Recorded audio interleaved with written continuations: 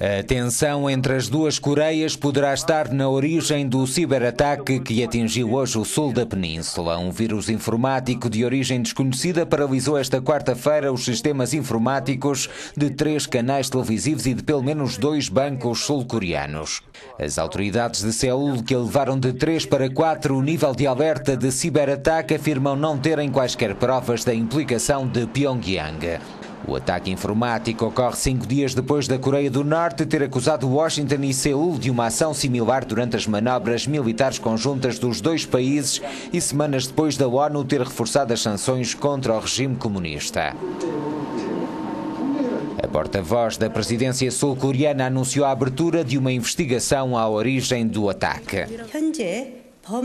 Criámos uma célula de emergência para lidar com a situação que reúne equipas civis, funcionários do governo e responsáveis militares. O subsecretário do Tesouro norte-americano David Cohen deslocou-se hoje a Seul para discutir as sanções a adotar que deverão visar o principal banco norte-coreano. Uma deslocação marcada por um protesto de um grupo que exige uma solução pacífica para pôr fim a um novo episódio de tensão marcado pela ameaça de Pyongyang de lançar ataques nucleares preventivos contra Washington e Seul.